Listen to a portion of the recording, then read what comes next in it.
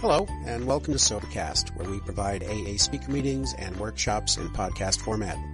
We're an ad-free podcast, and if you enjoy listening, please help us be self-supporting by visiting Sobercast.com, look for the donate link, and drop a dollar or two into our virtual basket. We hope you enjoy the podcast. Have a great day. Hi, my name is Tammi. I'm an alcoholic. Tammi. I want to stand up because, like, up here I can't see everybody. I didn't realize that. Um, so, hi. Uh, I didn't really say yes to speaking at this meeting. I asked my, I'm a speaker picker here. It's kind of douchey to pick yourself as a speaker. Um, but I asked my sponsor to speak and she said, sure, but you're speaking with me. And like, never mind. I don't want you to speak.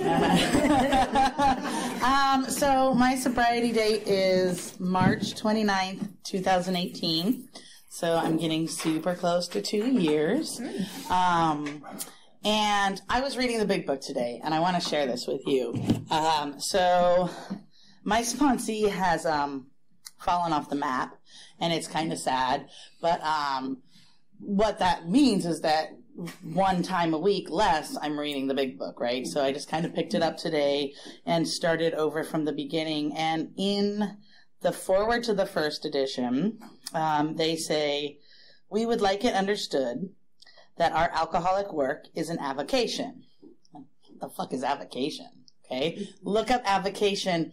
It means hobby or minor occupation. and I thought that that really hit home to me because, um, I have done all the work, right? I have worked the 12 steps. I have sponsored to some extent. I have been of service, right? I am, I'm done, right? I'm done. Like my brain and my body and my head and my alcoholic mind tell me, cool, check, did alcoholic, Alcoholics Anonymous. I'm cured. See you guys. Um, but what I also know from reading the rest of those pages in there is that, um, it's not a cure, it's a recovery, and if I stop, I stop being recovered. Um, I also know that I've been telling my therapist I want a hobby for a while, and it turns out I had one. um, so, but you know, I shared at Chips and Cake a couple weeks ago, um, and uh, I. Um, I told this, I told a couple of people in a week one time, these people I meet regularly because I have children and they go to the fucking hospital and shit. Um, and they're like, they, you know, people ask what you're doing that weekend. And I'm like, oh, I'm going to meet my friends on Friday. They go, you go out every Friday night with your friends? I'm like, yeah. They're like, wow, I wish I would do that. You know, and then the same thing happened on a Thursday night. And it really hit home to me that this thing that I've been seeking outwardly since my childhood, this place to be, this group to belong to, um, I have it, you know. The, and what I didn't realize is that that doesn't mean I'm fucking comfortable, um, right? But I have it. I have a group full of people um, who may not love me and want to hang out with me, but literally want the best for me.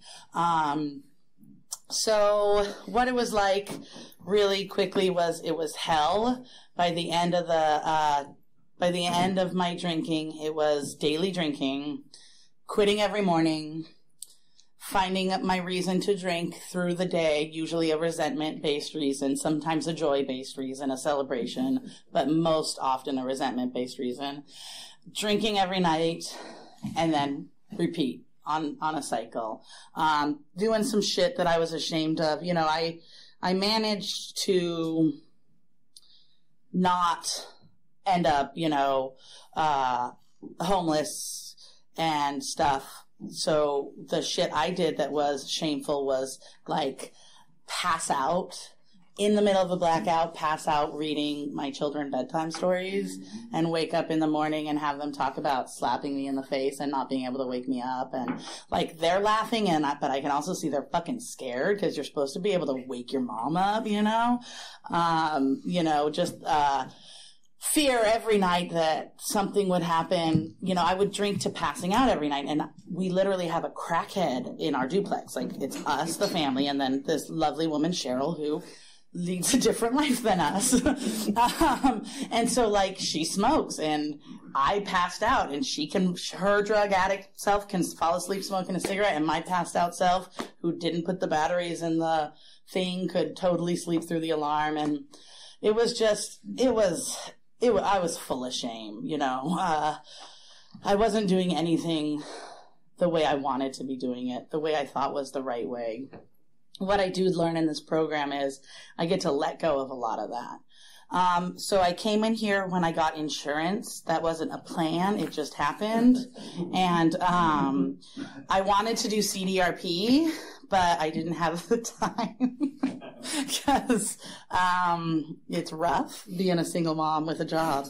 Um, and so I did a week of CDRP. Actually, I did nine days of CDRP, and then they're like, "You're going to have to go to a program." And I came here because it's evidence based, like it's been here since 39, right? This is the place that I know for sure works.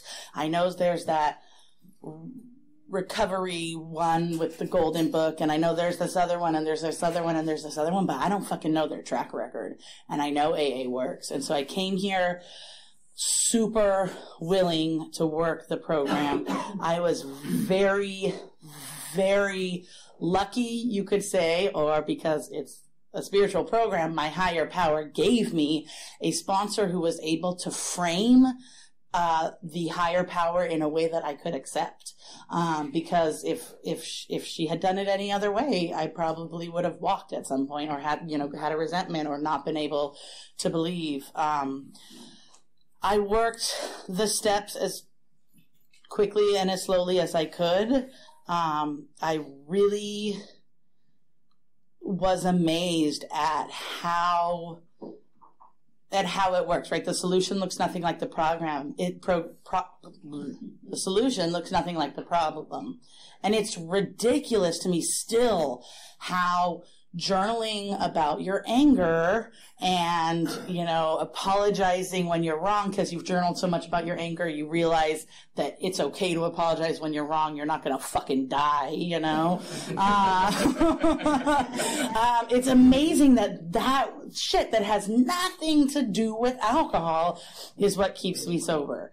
Um, but it, it worked. I was relieved pretty quickly of the obsession to drink, but I do remember those days, uh, the early days of raising my hand and saying like, I don't know what the fuck I'm gonna do when three o'clock rolls around because that's where I would start looking for my reasons. Three in the afternoon, like I don't know what I'm gonna do, and three o'clock would roll around, and I would I wouldn't text, I wouldn't call people because I'm not going to call people, but I did eventually. But I would text. What I would do when I had a craving is I would text every single person who had AA as their last name in my phone book, and, and until somebody immediately texted me back, and then I would talk through my craving with them, and then the blessing of that was all throughout the rest of the evening from 3 to 10 people would be getting off work or seeing their phone and they would be responding to my text. So even long after the craving had passed i had people supporting me all through the night.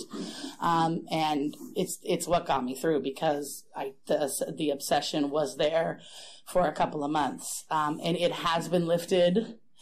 Um, that doesn't mean I don't think about alcohol. It just means that I'm not obsessed with it. Um, and it means that I also, because I work the steps, I have the tools to know what to do when I think about alcohol so that even if the thinking about alcohol and I'm, it sounds good in the moment, I can play the tape. I can, um, call my sponsor. I can call someone who's who, who the obsession has not been lifted on. I can work through all of the many, many reasons why my brain is lying to me and it's not a good fucking idea to have a drink, you know? Um, and I don't, how much time do I have left? Because I'm running out of shit to say. ah, there we go. One minute. Maybe a little more, but she, she gave me a break. So, um, I'm super nervous up here. I'm so happy that this meeting is here. The one thing I love about the double speaker meeting is I don't sit in the audience wondering what I'm gonna fucking say. It is, it is just this relief, you know? I do go to meetings. I need to share at meetings, but here it's just like, it's just program and and I can let go completely and be myself here and hear what I need to hear and I'm so grateful for that. I hope you heard something and um, that's all I got. Thank you.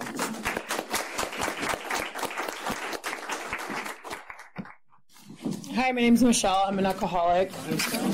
Um, so I was really nervous about this and shared at a meeting earlier this week, and so that share was the really powerful one. So there's other meetings. Anyways, um, you know, I very much appreciate Tammi asking me to share. Um, I realized when she asked me to share that it's a really long share, and I do know how to talk for a really long time, and any of my sponsees will tell you that.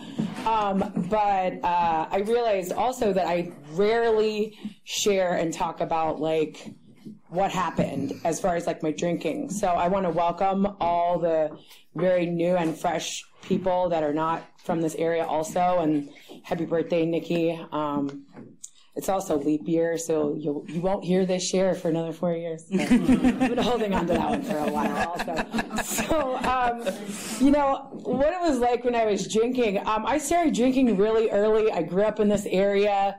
Um, I I grew up in Berkeley, so like for me, um, drinking and pot use, drugs are a huge part of my story. So it just it was really normalized, and um, it wasn't something that like I had a lot of shame around. It was something that like my father is an alcoholic and he was in these rooms and like one of the things for me was with him specifically was like he was really like a rageful what i would deem dry drunk and um, i didn't ever want any version of a sobriety that looked anything like him i'm like if that's what sobriety is like i'm hella good dude i like being drunk so you know i would i you know, 50, I think, you know, I don't remember exactly how old I was. I didn't have one of those, like, the first time I drank moments of clarity. I just, like, I distinctly remember drinking a lot, like summer of eighth grade a year, like these huge bottles of Carlo Rossi and like just fucking getting shit faced and like running out of my friend's house because her mom came home and like drunk running. I'm like, this is crazy. Like, so, like, that was, and then I went to high school and I went to Berkeley High and like, we could have off campus lunch, which just equated like off campus everything. Um, and it's really interesting. I have a 15 year old right now who's at Berkeley High. And um, one of my English teachers oversees this thing that I was doing with her recently. And uh, she's like, God, you were so quiet in ninth grade. And I'm like, yeah, because my Coca Cola can had gin in it. I had to get really drunk in the morning before I, so that I could be drunk during the day and then sober up before I got home. And I thought I was really slick. And anyway, so, you know, all through high school, I drank. Um, and I, there were definitely like trying times during my like high school years. Like fucked up shit happened to me. Um, my mother was dying from the time I was 11 until the time she died when I was 16. And, um, I just really like, for me, drinking took me out of all of the things, you know, the things, all of them. And, um, and it also like in a sober lens, like it didn't allow me to deal with any of the things. So like, you know, trauma is happening to me and like I'm not dealing. I'm just drinking and like it wasn't a problem to me. Again, I'm I'm not my dad. Like he's a rageful like you could probably use a drink, bro. like so for so to me it was like okay, cool. Like then my mother died. My father and I really clashed a lot. He threw me out. Um, I went and moved in with a friend of mine um, who, unbeknownst to me, her mother smoked crystal meth all night. so she also let us drink tequila all day. And so I dropped out of school. Um, we were like the popular ones. We threw parties, house parties all the time. I was shit wrecked. I don't remember any of that year, which to me was like, cool, this is how I processed my mother's death. And then that woman threw me out and um, my grandmother, my mother's mother, intervened and like sent me up to the butt fuck middle of nowhere, Dunsmuir, California.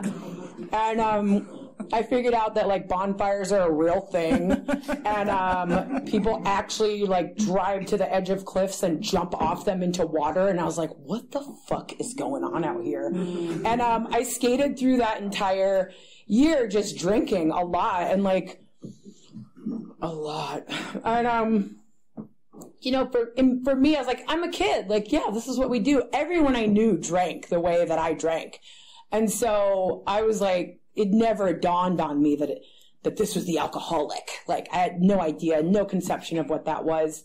So I graduated, and the next day I was on the Amtrak back down to the Bay Area. Um, I joined AmeriCorps. I started community college. I was like, I'm good. That like high school drinking thing has to be like cut down to the weekends now. Um, and again, like I kind of felt like I had life together, kind of. Um, and then I met my now child's father, who, you know, I'm not going to get into that whole thing, but it was like immediate problems from the very beginning. Um, I ended up leaving because things were so abusive with him and moving back up north because it was the only place that I kind of felt like I was farther, farther, further enough away and like I knew some people. So I moved up there and, um, I ended up pregnant and, um, then I came back down here and there's a lot, like there's a lot of domestic violence. There's a lot of violence in that. And I'm not going to get into that, but there is a lot of fucking scary shit going on. There was a lot of rejection from my like immediate family. Like my father, when the abuse got really bad and I was too pregnant to have an abortion, I really wanted to like be safe. And he told me like, you should go to a, um, a homeless shelter. There's a lot of them in the area. And like, so I just felt like I felt alone and I felt trapped and I was pregnant and I was 20 and I'm like, okay. Um, and I didn't drink. I smoked pot a couple of times while I was pregnant. And I really, again, like to me, I wasn't, I wasn't a problem drinker. I just like drank in high school and that's what we did. Like we partied and drank. And, um, then I had my daughter and the abuse got went from really bad to worse. And then it, it started this like really long process of trying to run away from him. Um, moved in my brother, moved away with my brother and moved my best friend in. Stalking and like him actively trying to kill me was a regular thing. And, um, for me, like, the way I escaped was I was 21 at this point. I would go to the bar and I would drink and I would, there was this like two for five night, um, at this place up on Telegraph and it was great because I would buy four drinks at a time and like drink two of them at the bar and then walk to the table with the others. And like the whole objective is like get fucked up as quick as possible. And, um, and again, like I didn't think I was a fucking alcoholic. Like, I didn't really know what an alcoholic was. So, you know, when we talk about like having alcoholism, I know what that means now. I had no concept of what that meant. And I thought it meant like, you know, what I became. Just getting into the future. Uh, so, anyways, uh, then I finally ended it up um, involving the police and like going into domestic violence shelter. Um, some shit happened at the domestic violence shelter, which ended up my daughter that I was trying to like keep away from him ended up back with him. And uh, then uh, the court system got involved and CPS got involved. And in order for me to maintain custody of my daughter, I had to go into a rehab facility because I tested positive for shrooms and weed. And again, like these were things I was doing, but not around my kid. And so I was like, okay, cool. Cause like the objective for me at that point was like be safe. Um, so I stayed at this rehab that I really didn't identify with, um, at all. Like there were women in there. So the whole thing was like, I had an open CPS case. And if you've ever had an open CPS case with something related, like I could not leave this facility with my daughter or they would take custody from me. So I stayed in here and there were a lot of women in there that were um, that had no custody of their children due to like crystal meth, their babies being born dirty, um, meth, crack, things that I've never even like thought of doing, especially not pregnant. And so there was no identification for me. And so I really learned the value or the I don't really call it a value, but like I really like took on the like fake it till you make it. Like I was faking it in there. I knew how to talk all the NA language, like mm-hmm. all the AA mumbo jumbo. I was all over it. Like I really just wanted to be safe, and I made sure the counselors knew what was going on because I had, I'm actually st- I still really I'm close with one of the counselors. Actually, I spoke to her this week. Um, but it was this this facility was 24 hours, so there was always someone there to talk to, and I was really afraid of my kid's dad. So like for me, like that's why I was there. I was there because I needed safe housing from my kid's father, and um, and I felt really bad for the other women that were in there, but like I wasn't like them. That wasn't me. And so I spent 18 months there. I got out. I really liked the camaraderie in NA. I really liked the community in, A, in NA. So I started going to NA meetings. I got in, in Oakland, I got a sponsor. My sponsor gave me really shitty, weird advice all the time. Um, we never really worked NA steps. We'd sit at our house and chain smoke cigarettes, drink coffee, and read tarot cards. We'd talk about our chakras. I really thought that I was doing the program. I went to meetings regularly. Okay, like I was sober. Like, you know, I thought I was doing the thing.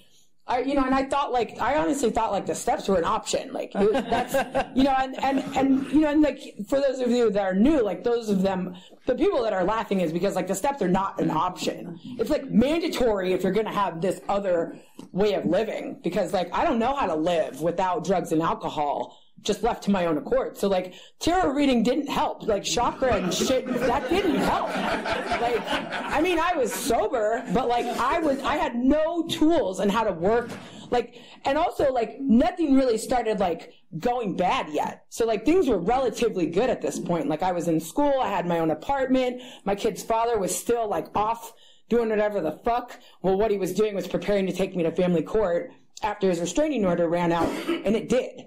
And then shit hit the fan, and the only thing I knew how to do was escape back with drugs. So I started smoking weed. Weed was never an issue for me in my mind. Weed was a thing I used for anxiety. And so if you're one of those people that likes to smoke weed, you might not be able to like find the spiritual attainment that you're looking for, but like that's none of my business. I couldn't. So I started smoking weed and then I pretty quickly burned my entire life to the ground. But like it didn't really look like that on the outside. It looked like everything else was the problem. My kid's father was the problem. Like I had to drop out of school because he was harassing me again, which was like, yes, it's true. Like my kid's father is still an active part of my life. However, it doesn't throw me off the way that it did before because again, I had no tools at all. I had no really, I had no grounding in anything. So fast forward a little bit, there was a lot of shit that went on. There was a lot of moving around. There was a lot of family court. There was a lot of shit that my daughter had to walk through and like be a part of, be at the effect of. So um, 2014, my drinking really started getting out of control. I was drinking a lot, um, not to where it got, but um, I was drinking a lot. And um, I started having some really visceral flashbacks of some shit that happened to me when I was a child. And um, long story short, I wound up in John George, which is a psychiatric ward. And um, you know, here's the thing about like doctors. When you don't tell them that you use drugs and you drink like a fish and then you stop abruptly, like it looks like you're having a fucking psychiatric break. And like I never, which I like, and also like I'm really stressed out and I do have anxiety and I do suffer from PTSD. I'm actively working on that right now, but like I never told the doctors what was going on. So they just slapped me with medications and, um, and then when you're drinking on those medications, that's also not a good idea. So I get out of the psych ward and, um, I had lost full, I had lost complete custody of my kid. I was in there for about, I don't even remember how many days, but like I show up at her school to go pick her up and they arrest me and throw me back into the psych ward.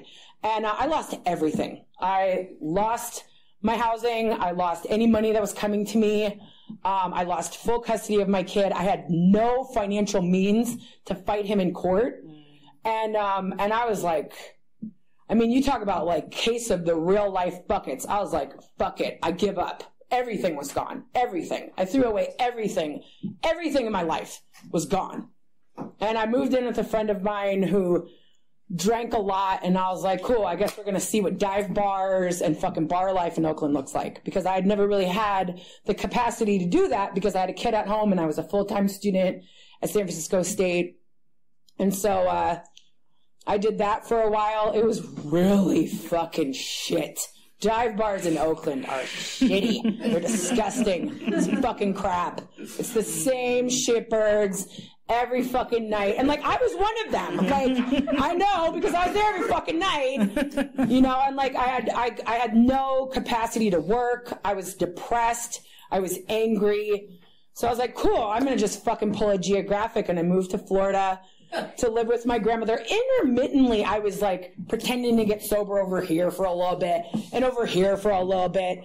I would like, I was like, I was like, I would do speak. I would share high on weed, and like it was one of these like these motherfuckers don't have any idea what I'm talking about, or like they don't know I'm high. Like, anyways, I don't know what the fuck I was trying to prove. I brought it to myself. I was trying to prove something that I could like be sober and stay high because I really didn't want to let go of weed.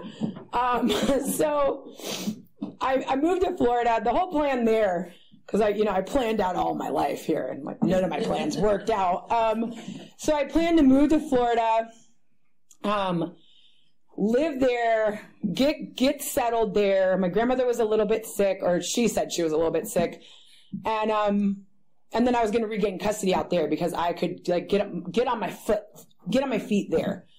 And um, my grandmother was actually much sicker than she let on, like dying sick. And so what actually ended up happening was I became her full time um, caregiver, and um, and I basically helped her die. Uh, which really put a uh, like wrench in my fucking plans and um, and really fucked me up honestly because here I am now like I don't want a hard drink in front of my dying grandmother. So she thinks it's socially acceptable to down wine. So I'm like pounding wine back after she passes out. But not enough to be completely blacked out because I need to be able to know if she's wake if she's woken up or not. So you know, again, like I thought I was controlling. You know, I thought I had had it under control. Um. So yes, okay, this is faster. I can get sober now. So fuck yeah, this is perfect timing. Um, so she dies. I move to Texas, which is where my my middle younger brother is. My youngest brother is actually living in the Tenderloin, completely out of his fucking mind, which is really sad. Um, but so I moved to Texas. Again, I was going to try to get on my feet there. I completely wrecked my brother's wedding, which I actually just made an amends for um, a couple of weeks ago. I mean, there's a lot more wreckage with that, but um, then he threw me out. I moved back to California. Um, I I was partying one night when I first got back to California, and I ran into um, the friend that I lived with after high school. Her ex husband was at this bar that I was at at the after hours just to kind of I didn't know what that meant till later, but he became my coke dealer and my roommate. Um, so that was just a shit show, and like it got really fucking weird really fast. Like cocaine really brought me to my bottom really fucking fast, and um. So then in June, um, June 8th, actually, I know the date because it's my best friend's birthday. Um, June 8th, I, uh, her and I are now we don't go to dive bars anymore because now I'm fancy, right? Because I do cocaine, so I'm fucking fancy. So I'm at Make Westing getting shit faced and coked out of my brain, and um, this guy is sitting at the bar. He's older and bald, and I'm like, okay, buddy, and he's like, I know you. I'm like, you don't know me. He's like, you used to go to NA. I'm like, oh shit, you might know me. and I'm like, but you're at the bar. He's like, you want a drink? I'm like, yes, and so does my best friend. It's her birthday. He's like, oh, it's her birthday. We should go do rails of coke. I'm like, yes, we should. Fuck, hell yeah. So like, he became my like, my love. I was like, yes. And like, honestly, we could, if you would have asked me then, I knew this dude for like a really long time. I got sober June 15th. Okay. My sobriety date is June 16th, but that's only because I was doing cocaine at uh, 8 a.m. on the 15th. So I had to set my date to the 16th. So fast forward on like whatever long binge that was, which again, like I thought like we were together all this time. It was really fast, really fast. So It's 8 a.m. on the 15th. He leaves to go to work, and I'm like, fuck, I'm still awake from whatever, whatever day. What day is it? Where am I? How the fuck am I gonna get out of here? Because I don't like going into the daylight on cocaine because people will see that I'm really actually not fancy. I'm a drug addict. so I'm like, shit. And I'm lining up lines, and I'm, I, I take a hit, and uh, I hear my grandmother's voice tell me to flush it down the toilet. And I was like, what the fuck? This is some crazy shit. and I line up another one, and and like I, I may have took one or two. I don't really remember, but I ended up actually flushing it down the toilet, rinsing it down the drain. I was like, that was fucking weird. I called an Uber. This Uber driver, he was an older guy, and he wanted me to sit in the front, which I thought was weird. And he was like, "How are you doing?" And I was like, "I'm I'm a drug addict." And he was like, "Oh, have you ever heard of Delancey Street? And if you're from here, it's a that's a recovery home over in San Francisco." And I was like, "That's weird." Okay. he drops me off at my girlfriend's house who was supposed to smoke weed with me so that I could come down from whatever crazy shit was just going on. And I'm telling her all this and she's like, you should go to a meeting. And I was like, bitch, you're betraying me. But like, I was so, it was so weird. Like the course of events that were going on this morning, I was like, I am fucking, okay, I might, yeah, let's go. So I, I jump in another Uber. I get to central office, which is the old central office. They've moved it now, which makes me resentful, but whatever. Um, so I get to central office. I'm like an hour and a half early, and there's this chick there who's like handing me cigarettes and smoking with me, and I'm coked out of my fucking brain at this point. I'm like, I'm, what am I doing here? I guess this is happening. Like, okay. So I'm chain smoking cigarettes. The meeting, I couldn't tell you what the fucking meeting said at all. to save my fucking life. The next day, which is my actual um, sobriety date, so June 16th, 2016. Um, I call my best friend and I'm like, yeah, you know, I'm going to try this sober thing, I, you know, and she's like, I'll come with you. And we go to uh, Wild Bunch. The speaker became my sponsor. Um, and like, she also got sober. And like, you know, for me, this is like, you know, I didn't walk into this shit willingly. Like that shit, I did not make that up. Whether I was high or whatever, like I was definitely high. And I was high for a really long time after, like the shakes were bad. I was really angry. AA was really like the last it was I didn't really want to be in here. I thought everyone knew my fucking dad. You know, I didn't want to be in here, you know, talking about how much I fucking hated him. Cause like, you know, I'm like, I'm resentful and hateful and rageful. And like, I fucking hate everything when really like, it all boiled down to like, I hated me a lot. And I didn't know how to like do that part, right? The steps helped me learn how to deal with like me.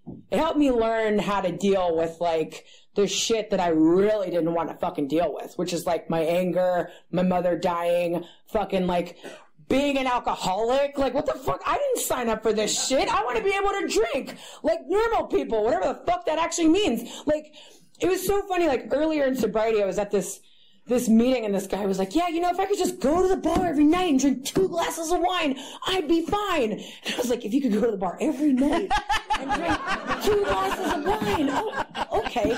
I've watched people who I would deem normal drinkers like leave entire glasses of wine on the table. I'm like, what are you fucking doing? You're wasting it. I will help you. Like, what the fuck's your problem? So like, I just, I really want to get like more into like, so the steps, like, these are mandatory. Whatever I was doing in NA, it's, I mean, and, and, and like, if NA works for you, like, just do the steps with a sponsor that you trust. Um, in the first year of my sobriety, like I bounced around to quite a few different sponsors because I didn't really find anyone that I could trust. And I think a lot of that, like looking back on it, was because I was insane in my fucking head still. Like I was really all over the place. I was really coming down hard. I really wanted like meetings to be the solution because I thought that that's what was working before for everyone. I thought that's what everyone was doing in the meetings before. There was like because that's what I was doing. of course, that's what everyone else was doing. But like, I'm like, oh, I can take that for the rest of my life. That one thing that that guy said that day, I'm taking that. Like, oh, Nikki, you've got 32 years. Like, I'm gonna take that all week. Like, let me tell you, when you're new, like fucking shit, I can hold on to something for like That's it. then it's gone. Like, what the fuck? I'm done. Like, where the fuck am I?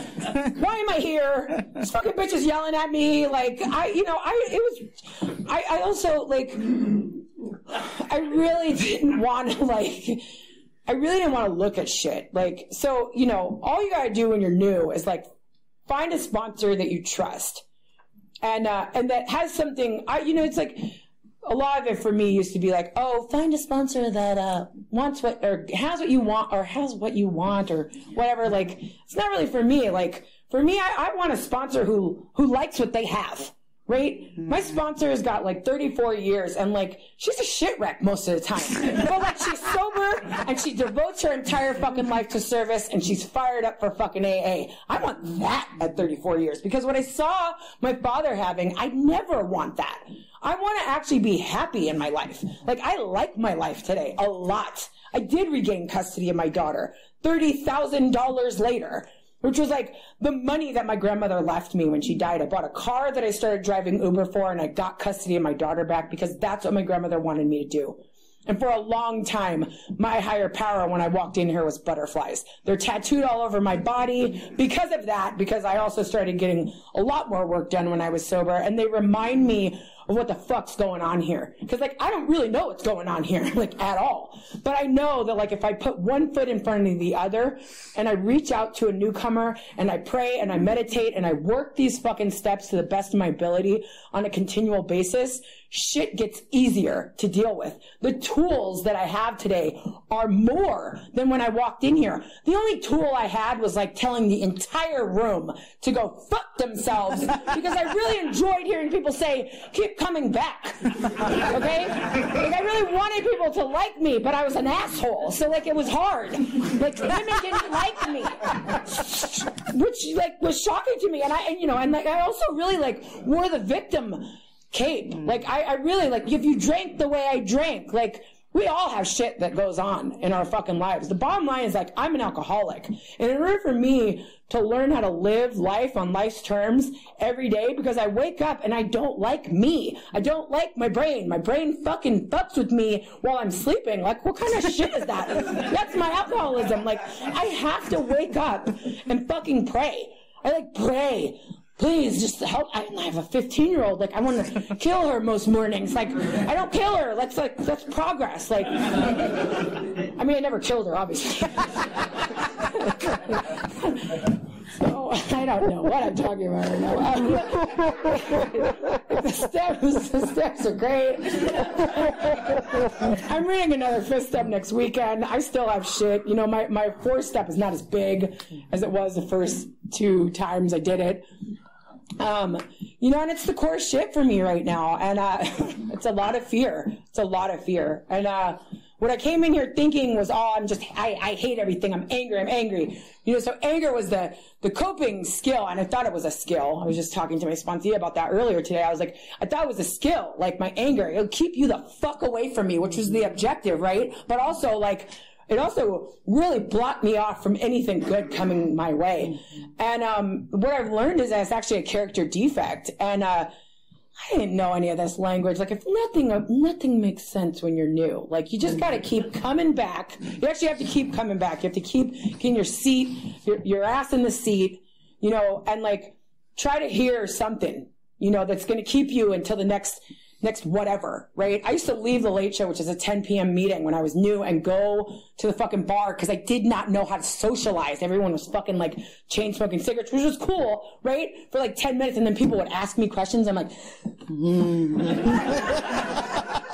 Here so I can go like talk to the drunks, like, because that's what I was used to. And like, and after a while, like that obsession to be in that environment lifted. And I wouldn't recommend that, by the way, because it was not easy for me to stay sober in that space. But it was also like, it's really hard. Like, how do we, like, I had a, a sponsee the other day say, like, how do you get relationships? She's got like almost 60 days right now. And I'm like, it, it comes with time, a lot of time. You know, like we're not instant best friends like we are at the bar. Like, oh my god, I love you. That doesn't happen. In, I mean, maybe it does in here. That happens for you in here. Like that's amazing. That does not happen for me in here. People are like, stay away from me. I mean, until people stop saying that, you know. I made a couple of men's group level. You know, men's are a real thing. Those promises we read them at the beginning of each meeting. They are the ninth step promises. So like you have to get through some of the ninth step, which is like making amends to people, which means you have to do one, two, three, four, five, six, seven, eight, and then start doing nine for those promises to really come true. And they are true. Like fear of economic insecurity, I still have that, but I don't want to kill myself over it. Mm-hmm. Like I actively wanted to kill myself all the time over everything what they did, what I was doing, what I wasn't doing. Like, I remember when I hit 30, I was like, oh my God, all the things that I thought I needed, they're not here. Like, what the fuck? I'm gonna drink now. Like, drinking was my solution for everything. And the solution now is like, breathe, pray, help someone else. That's what I do. I hated when my fucking sponsor started saying that shit to me. I'm like, I want you to hear me on my soapbox right now, lady. Like, you know, I'm having this fucking problem. Today, I had this thing I have a 15 year old, so there's always a thing right now. And I ran through her phone last night and I found out some shit I didn't really want to find out. And um, I was like, she was like, so I sent her a text message like, I need to talk to you right now. It's like 7.30. I'm fucking pissed. She's asleep. She calls me at like 11. and I'm like moved through all of that because I prayed. Like I spoke to other people. You know, I, I got out of myself. And, uh, and I, I, did like a little brief meditation. And, uh, and she's like, well, before you say anything, Michelle, let's say the serenity prayer. I'm like, oh, she thinks I'm pissed. I'm like, okay. so we say the serenity prayer and she's like, you're not screaming at me.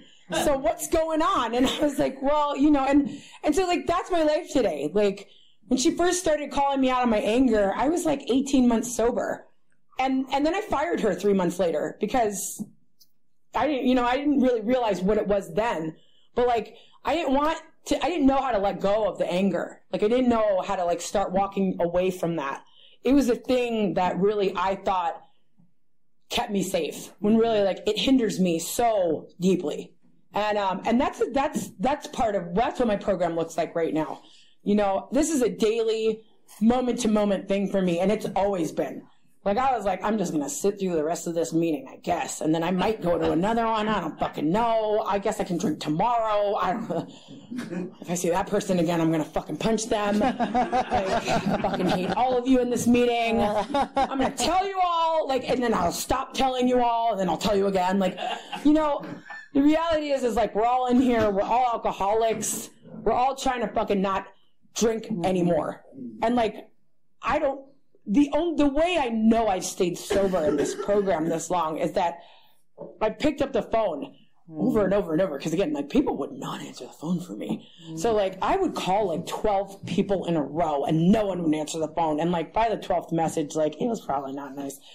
I mean let's be honest like the second message was probably pretty fucking rude. But like probably why i wasn't getting calls back I always pick up the phone. I always answer the phone. I like my entire life is about service. Like, however that looks. Like, and I'm much quicker to be of service to people who are in the program than I am outside of the program. But that doesn't mean that I'm not still of service outside of this program. Like, I, my entire existence is about giving back to others, you know?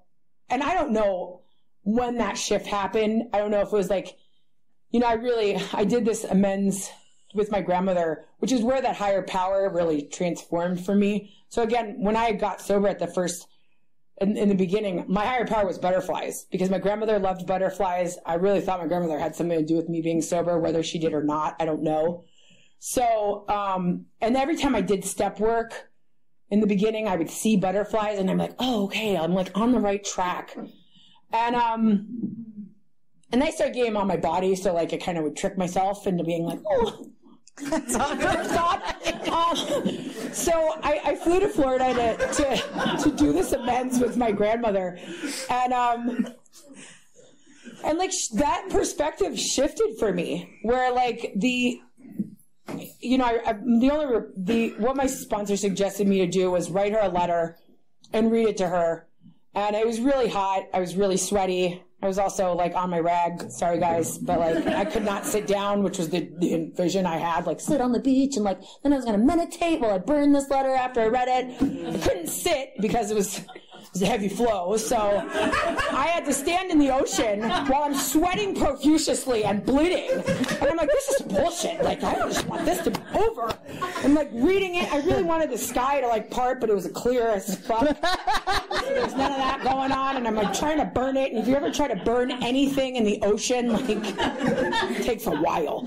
So I'm trying to burn it and it starts burning. And I'm like, okay. And then I look up and there's a dolphin up above and I'm like, now I'm crying and bleeding and sweating and I'm like, oh God. And like, for me, like that wasn't the aha, like this is the immense. It's the ripple effect after that. It's the way that my higher power transformed for me after that moment. Because like, I don't even remember what the fuck I wrote in that letter, to be honest. Like, I mean, I remember those distinct things that I just told you because, like, uh, honestly, they were a little traumatizing for me.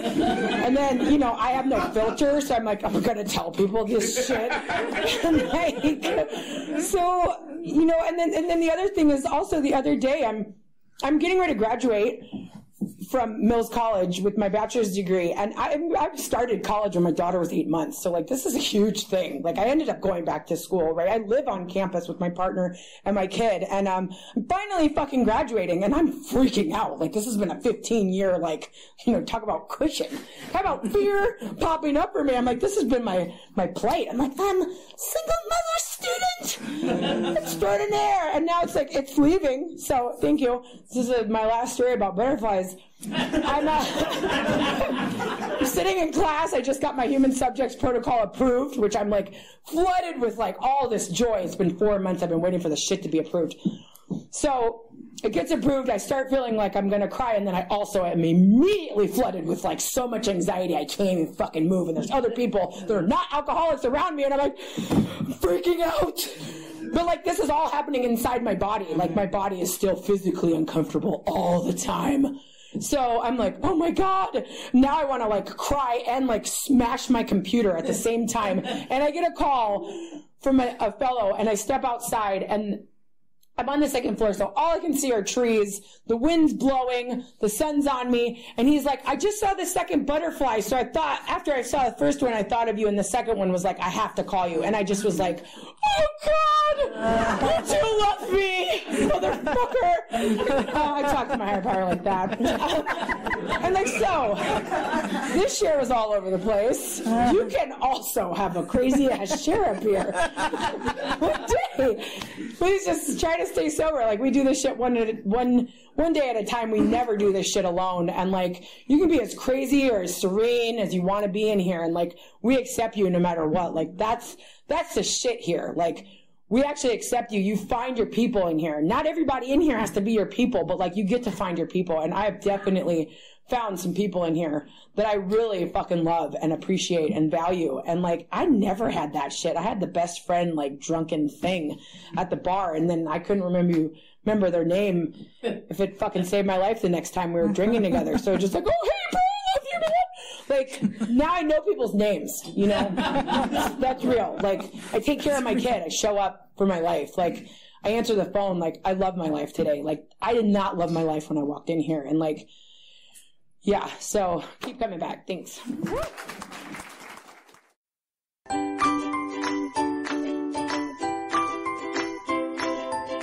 Thanks for listening. I hope you enjoyed the podcast. Sobercast is ad free, and we'd like your help in order to keep it that way. So if you'd like to help us be self supporting by pledging a dollar to a month, visit Sobercast.com and look for the donate links. Thank you very much.